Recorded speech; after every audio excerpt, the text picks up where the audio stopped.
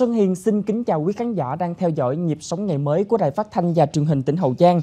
Trước khi đến với những tin nóng trong nước và quốc tế đáng chú ý, tôi xin điểm qua một vài nội dung được đăng tải trên các báo sáng nay.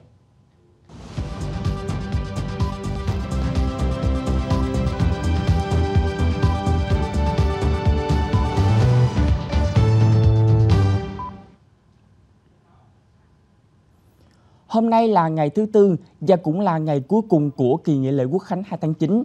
Như bao kỳ nghỉ dài ngày khác, ngoài những niềm vui thì nỗi buồn do những vụ tai nạn giao thông không mong muốn động lại ở nhiều gia đình.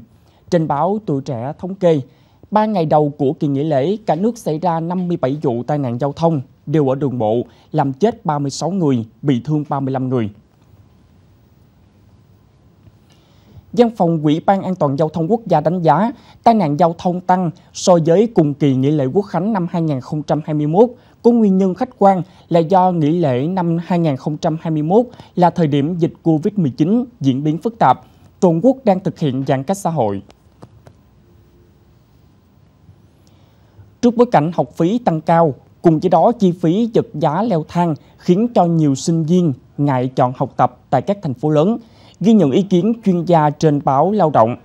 Lúc này, nhiều sinh viên chọn học tại tỉnh nhà để tiết kiệm chi phí. Nếu nắm bắt tốt cơ hội và chiến lược phù hợp, các trường đại học đặt tại tỉnh lẻ có cơ hội bứt phá hơn nữa trong thời gian tới. Lần đầu tiên gạo ST25 của Việt Nam được đưa vào chế biến món ăn trong thực đơn của văn phòng nội các Nhật Bản. Đây là nội dung có trên báo Tuổi Trẻ sáng nay. Theo đó, để đưa được gạo ST25 vào thị trường Nhật Bản, doanh nghiệp Việt Nam phải vượt qua hơn 600 tiêu chuẩn kỹ thuật khắc khe cùng yêu cầu rất cao của người tiêu dùng Nhật Bản và là bước tiến giúp cho hạt gạo Việt Nam thâm nhập sâu hơn vào thị trường này. Tiếp tục chương trình ngày hôm nay, chị Quỳnh Loan cập nhật các tin nóng để gửi đến quý khán giả. Xin mời chị. Kính chào quý khán giả, chúng ta cùng điểm qua một vài thông tin nổi bật sau đây.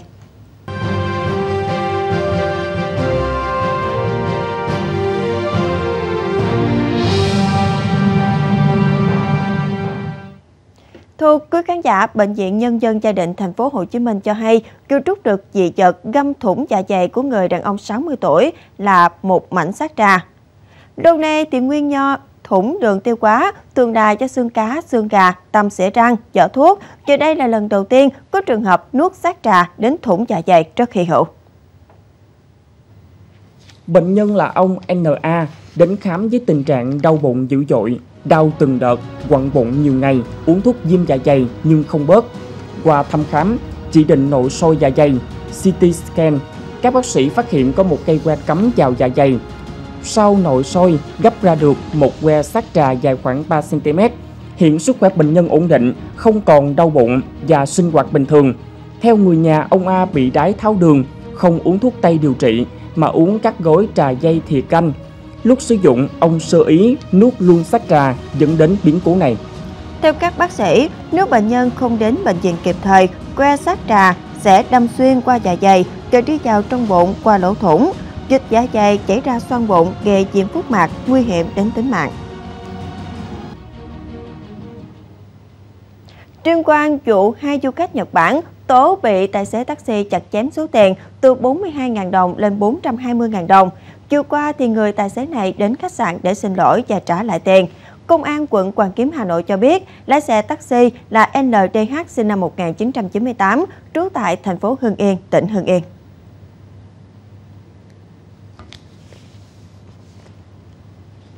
Chiều 31 tháng 8, đế xe NDH có đón 3 người khách nước ngoài tại phố Trần Quang Khải trở về khách sạn Hòa Bình ở địa chỉ 27 phố Lý Thường Kiệt, quận Hoàn Kiếm, Hà Nội. Khi đến nơi, đồng hồ hiển thị số tiền cước là 42.000 đồng. Một du khách đưa 500.000 đồng trả tiền xe, nhưng H trả lại cho vị khách này 100.000 đồng và đang tìm tiền để trả nốt, thì nhóm du khách này xuống xe. Do H không biết tiếng để giao tiếp với nhóm khách nên lái xe bỏ đi. Nhận thức việc làm của mình là sai, H chủ động liên hệ với nhóm du khách để xin lỗi, cho quan trả lại số tiền thừa 360.000 đồng. Hôm qua, khách tới Công an quận Hoàn Kiếm để trình bày lại toàn bộ sự việc, đồng thời cam kết không tái phạm. Mạng xã hội đang xôn xao về danh tính của nam thanh niên điều đỉnh lái xe máy bằng chân rồi dùng tay để đánh đàn. Chọn quốc lộ 1 để biểu diễn, người này hào hứng khi nhận được nhiều sự chú ý. Nhưng điểm dừng của thú chơi ngông cuồng này chính là tại đồn công an.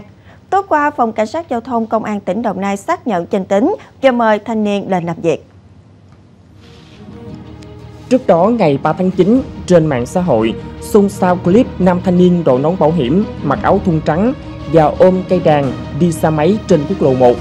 Nhưng khác người ở chỗ, thanh niên đang chạy xe nhưng buông hai tay, vừa đi vừa gãy đàn, vừa hát say sưa, có lúc lại dừng chân điều khiển tay lái. Dù việc được camera hành trình của người tham gia giao thông ghi lại, nhiều người phản ứng hành động này chính là xem thường tính mạng bản thân và người đi đường. Lũ về qua đoạn suối chảy thôn Thèn Phùng, xã Cốc Ly, huyện Bắc Hà, Lào Cai, cuốn mất tích một trẻ nhỏ trên đường lùa trâu về nhà. Tối qua, Ban Chỉ huy Phòng chống thiên tai và tìm kiếm cứu nạn tỉnh quy động 70 người phối hợp khẩn trương tìm kiếm. Nạn nhân là em LSD, sinh năm 2013 và em trai LTB, sinh năm 2015, dân tộc Mông, trú tại thôn Thèn Phùng, xã Cốc Ly, đi chăn trâu về và đi qua suối. D đi trước, còn B đi sau. Bất ngờ nước dâng cao cuốn trôi em B tại khu suối thuộc thôn Thèn Phùng. D chạy về gọi bố mẹ để ra giúp em trai nhưng không kịp. Nhận được tin báo, Ban Chỉ huy Phòng chống thiên tai tìm kiếm cứu nạn huyện Bắc Hà chỉ đạo lực lượng tổ tìm kiếm. Nhưng sau gần một ngày tích cực tìm kiếm, vẫn chưa tìm thấy nạn nhân mất tích. Tình trạng ném đất đá lên tàu gây mất trật tự an toàn giao thông trên tuyến đường sắt Bắc Nam qua địa bàn tỉnh Quảng Trị lại tái diễn. Mới nhất, điều vụ tàu HSE1 bị ném đá làm dở kính khi qua địa phận xã Thanh An, huyện Cam Lộ vào sáng ngày 3 tháng 9.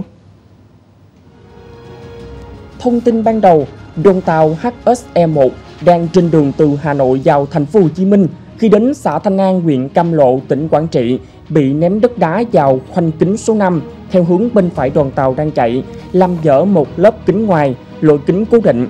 Chi nhánh công ty cổ phần vận tải đường sắt Hà Nội lập biên bản sự việc. Ga Đông Hà, chi nhánh khai thác đường sắt Thừa Thiên Huế cũng báo cáo sự việc đến công an xã Thanh An. Tình trạng ném đất đá lên tàu đe dọa nghiêm trọng đến an toàn giao thông đường sắt, sức khỏe và tính mạng của người trên tàu. Vấn nạn này diễn ra nhiều năm nay. Vụ việc gần nhất là vào chiều 9 tháng 8, đoàn tàu SSE4 đến địa phận xã Hải Chánh, huyện Hải Lăng, tỉnh Quảng Trị cũng bị ném đá làm dở một kính bên trái.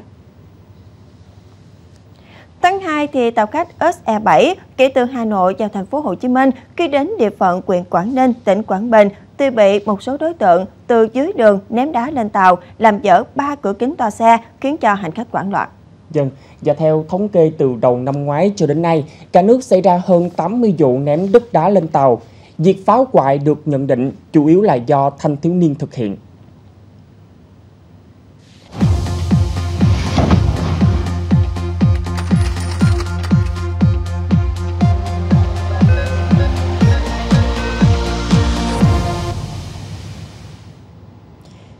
Quý khán giả, như chúng tôi đề cập trong nhịp sống ngày mới sáng qua, chiều ngày 1 tháng 9, mưa lớn làm thành phố Đà Lạt ngập nặng. Và nhìn những hình ảnh này thì nhiều người phải ngao ngán. Dân ạ, đành rằng mưa lớn trong thời gian ngắn là một nguyên nhân gây ra lũ thiên tai có, nhưng nhân tai mới là nguyên nhân chủ yếu.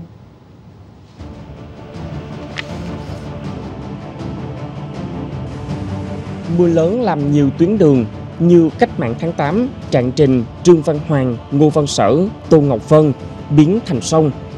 Các khu vực bị ngập trong trận mưa ngày 1 và 2 tháng 9 đều có đặc điểm chung là nằm dọc suối Cam Ly. Đây là con suối chảy qua nhiều nơi của Đà Lạt. Khi nước mưa thoát không kịp, nước tràn lên dùng gian suối gây ngập. Trong nỗ lực khơi thông dòng chảy, nhiều người dân, trong đó có những người từng vô tư xả rác sinh hoạt nay phải tìm cách gỡ rác ra khỏi các cống dẫn nước để tự cứu lấy mình, nhưng cũng không thoát khỏi cảnh be bờ tát nước. Thế nhưng, hậu quả nhãn tiền từ rác chỉ là phần nhỏ. Nguyên nhân sâu xa là những nhà kính mọc san sát nhau, phá vỡ định hướng phát triển, thành phố trong rừng, rừng trong thành phố. Nước cuối thập niên 1990, Đà Lạt chỉ có rải rác một số nhà kính, thì hiện nay tăng lên khoảng 10.000 nhà kính trong tổng số 18.000 hecta trồng rau quả, nên nhìn từ trên cao chẳng còn thấy rừng đâu. Nhà kính cũng giống như chiếc áo mưa cố định, khi áo mưa này được xây dựng quá dày đặc, trường nước không thể thấm vào đất. Từ đây, nước mưa đổ ra suối, trong nước dâng cao đột ngột, tàu nổ với tốc độ chảy mạnh. Thiếu không gian cho việc thoát nước ngoài rác, nhà kính thì bê tông quá tạo nên một áp lực lớn lên hệ thống thoát nước của thành phố ngàn qua. Đà Lạt được quy hoạch cho khoảng 20.000 dân, tuy nhiên đến nay lượng dân số cơ hữu hơn 200.000 người. Nếu tính cả du khách và người dân Giảng Lai là 300.000 người, hệ thống thoát nước của thành phố từng được cải tạo một lần nhưng vẫn không đáp ứng được mức độ bê tông hóa ngày càng nghiêm trọng như hiện nay.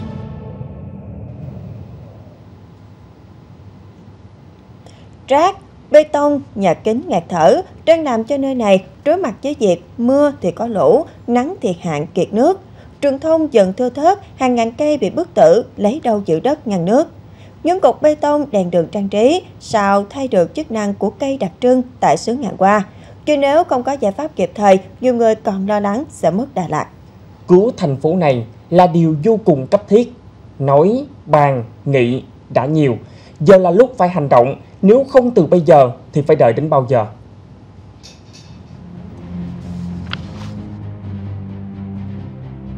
Từng nhiều năm nghiên cứu về quy hoạch đô thị Đà Lạt, kiến trúc sư Ngô Viết Nam Sơn nhận định, hơn 10 năm nay, thành phố có xu hướng phát triển ít bền vững khi đô thị hóa quá nhanh, ảnh hưởng thoát nước. Ông phân tích, Đà Lạt có địa hình cao, cộng với việc phá rừng, giảm mạnh không gian xanh và diện tích bê tông quá tăng. Khi mưa lớn cùng với độ dốc khiến nước thoát xuống một chỗ quá nhanh sẽ không có cống nào thoát kịp, dẫn đến ngập úng.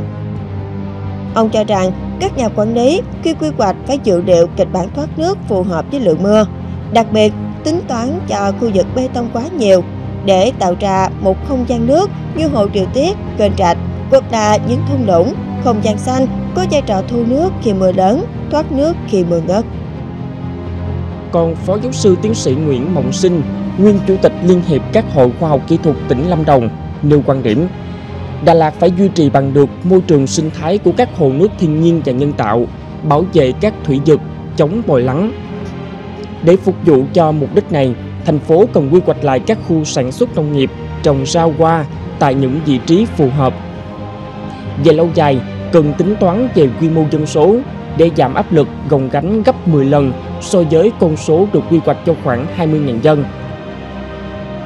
Trong bối cảnh hiện nay, để tìm đường cho nước chảy, thành phố nhanh chóng gỡ bỏ nhà kính, thay vào đó hướng dẫn kỹ thuật canh tác hiện đại và thân thiện với môi trường. Trước đây, một nông dân Đà Lạt mạnh dạn gỡ bỏ nhà kính để chăm sóc cây trái qua tự nhiên. Điểm sáng ấy cần được lan tỏa.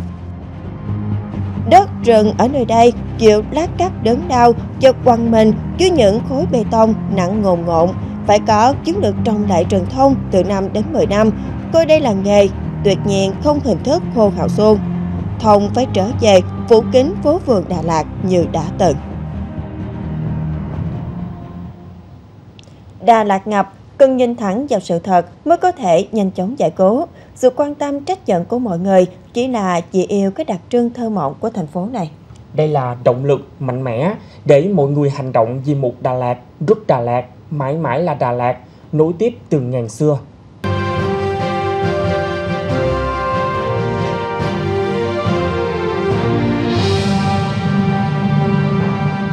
Nằm ngay trung tâm thành phố, lại có nhiều cây xanh tạo không khí mát mẻ, thoải mái. Thảo Cầm Viên ở thành phố Hồ Chí Minh trở thành điểm đến ưa thích của nhiều gia đình. Vào ngày nghỉ lễ Quốc khánh 2 tháng 9, hàng ngàn du khách đổ về nơi này. Năm nay, thú vui mới của người dân là xem nơi đây trở thành một địa chỉ dã ngoại lý tưởng. Mắt võng, dựng lều, ăn uống và vui chơi là cách nhiều người tận hưởng kỳ nghỉ. Hôm qua là ngày thứ ba của kỳ nghỉ lễ kéo dài 4 ngày. Hàng ngàn người đổ về Thảo Cầm Viên để vui chơi. Từ 8 giờ sáng, trước quầy bán vé, khách tham quan xếp hàng thành hàng dài chờ đến lượt. Vì có con nhỏ nên anh Lê Thành Trí ở quận 3 thành phố Hồ Chí Minh rất ngại đi xa.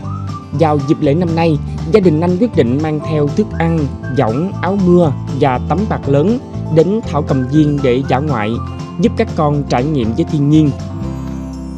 Môi trường ở đây thì thật là tốt, vừa cây cối thoáng mát, có chỗ để à, nghỉ ngơi, à, dắt võng rồi à, mình có thể à, tổ chức cái biết biết cắm trại tại à, tại chỗ. Rồi à, mình có thể à, xem những cái à, loài à, thú động vật rồi à, coi được các chương trình văn nghệ. Theo đại diện Thảo Cầm Viên, trong 2 ngày nghỉ lễ đầu tiên có hơn 45.000 lượt khách đến đây tham quan. Mặc dù lượng khách đông nhưng không xảy ra tình trạng chen lấn, xô đẩy, gây mất trật tự. Gần 10 năm, độc quyền món pizza hủ tiếu được du khách rất yêu thích. Một lò hủ tiếu nằm giữa lòng thành phố Cần Thơ tiếp tục nghĩ ra việc tạo màu cho hủ tiếu. Chỉ với những nguyên liệu cây nhà lá dường, từng cọng hủ tiếu đa sắc có 102 xuất hiện nơi mảnh đất Tây Đô. Điều thú vị hơn nữa là du khách khi đến đây còn được trải nghiệm tự tay làm nên những sợi hủ tiếu tự nhiên. Với tình yêu và mong muốn giữ gìn nghề hủ tiếu truyền thống của ông cha qua ba đời truyền lại, ông Hình Hữu Hoài, hay còn gọi là ông Sáu Hoài, ở quận Ninh Kiều, thành phố Cần Thơ, quyết định kết hợp mô hình sản xuất và du lịch trải nghiệm cho du khách. Thay vì những sợi hủ tiếu trắng ngà như truyền thống, là hủ tiếu sáu hoài, làm nên hủ tiếu đa sắc, hoàn toàn không sử dụng phẩm màu, hóa chất. Đó là màu cam từ trái gất, màu xanh tím từ hoa đậu biếc, màu xanh từ lá dứa, màu tím của lá cẩm, màu hồng tím từ củ dền, làm cho những sợi hủ tiếu thêm ngon và hấp dẫn. Cái nhu cầu của bà con thực khách á, thì mình sản xuất theo nhiều cái loại nữa củ quả nữa để nó tăng thêm cái màu sắc với cái dinh dưỡng để cho bà con ẩm thực mình á. Từ một sở thị, các công đoạn từ pha bột, tráng, phơi cho đến các hủ tiếu thành phẩm, du khách còn được thưởng thức những món ăn đặc sản ở đây như pizza hủ tiếu, chà bông hủ tiếu do chính gia đình ông Hoài sáng tạo nên. Hủ tiếu này rau củ thì rất là chất lượng, đó là nó không có chỗ nào mà nó làm giống vậy hết. Ừ, thì chỉ có ở đây là coi như là cô đi cũng nhiều lần rồi. Thì ăn thử thì nó rất là ngon. Ừ, rồi nó không có dạng như nó không có bỏ cái chất bảo quản á thành ra rất là ngon lò hủ tiếu của ông Hoài trở thành một địa điểm du lịch trải nghiệm nghề làm hủ tiếu thủ công ở thành phố Cần Thơ là một gợi ý điển hình cho sự thành công trong mô hình kết hợp giữa du lịch và phát triển làng nghề thủ công truyền thống. Vào những dịp lễ, đồ hủ tiếu luôn tấp nập du khách chỉ tính riêng trong ngày đầu nghỉ lễ 2 tháng 9, có hơn 500 lượt khách đến trải nghiệm và tham quan. Nội dung vừa rồi khép lại chương trình Nhịp sống ngày mới của truyền hình Hậu Giang hôm nay. Cảm ơn sự quan tâm theo dõi của quý khán giả. Kính chào tạm biệt và hẹn gặp lại.